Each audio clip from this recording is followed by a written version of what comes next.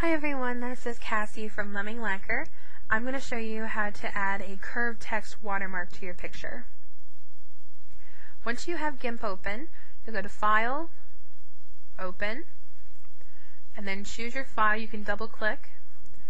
I am going to rotate my picture and zoom in a little bit by pressing Shift plus on my keyboard. Once that's done, I'll go over to my layers, right click, and then choose new layer. You can rename your layer if you'd like, it's not necessary. Uh, just make sure that it is transparent. Now with that new layer selected, I'll go over to the left hand side on my toolbox and click this arrow, choose add tab, and paths. Next, you'll choose the Paths tool, which is right next to the Color Picker tool. It looks like an eyedropper.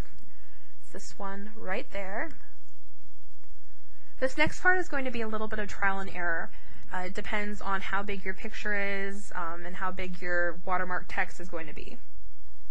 For me, uh, it's going to start about right here. So click once to start, and then once again on your endpoint. Go towards the middle, click, and then drag. If you're unsure of how that looks, uh, you can go back over to your paths area over here on the far left box, click that, and then choose a different tool. I'm going to say text, and now we can see where our path is going to be. If you don't like the look of it, choose paths again, click on it, and then just tweak it by using these um, points here. Um, if you are ready to move on, click your text click your text tool, and I'm going to choose my color right now. So choose the upper left box here,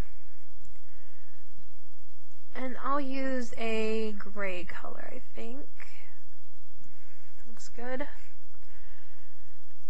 Okay.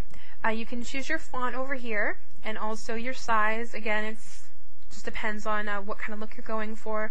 I'm going to estimate 60 and we'll see how we do. Uh, I'm going to start up here because I don't want to be too close to my path because I don't want the text I'm typing um, the text I'm typing to go over the path. So click once, start typing. Once that's done, right click and then choose text along path. Uh, when your text is too much for the path, um, this is what happens with the line. Um, don't worry though, choose, uh, press Control Z, and let's try 50. Right click, text along path, done. So once that's taken care of, you have your text. Go back to the layer we made, hover, and then right click on the text, select from path. Our text has gone all squiggly, which is what we want. Uh, now we'll go to the paintbrush tool. The default is usually 18, which as you can see is pretty small, so you can make it bigger by either doing this by clicking on the size area and fiddling with it, or by typing. I'm going to say that this is a good size and continue. Hover over your text and just color it in by pressing the left mouse button. Once that's done, it's still going to look all squiggly, but it has taken. Um, go to your Paths tab again, right click on the top one, delete path.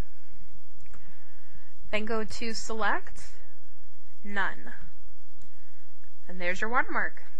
You're still going to have your text up here from, uh, from before, so just click on the layer for your text, right click, delete layer. And then there's your finished picture. For GIMP, you do have to export it, so go to File, Export, and then type in what you want your file name to be. I'm just going to overwrite this one. Then click Export again. And there you have it. Um, this is a really easy and basic tutorial. Once you learn all the steps, um, it's going to be really easy for you to watercrop all your pictures with your curved text. I hope you guys enjoyed the tutorial and I hope that it's helpful to you. If you have any questions, you know, please comment or if you have any other tips for pe- for people who are new to it, you know, please leave that and make sure that you check out Lemming Lacquer on our blog and on Facebook. Thanks guys. Bye.